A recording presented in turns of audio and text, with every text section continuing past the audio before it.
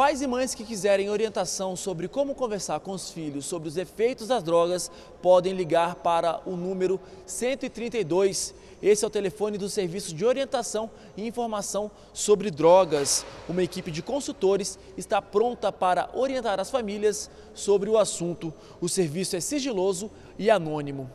De Brasília, Leandro Alarcon.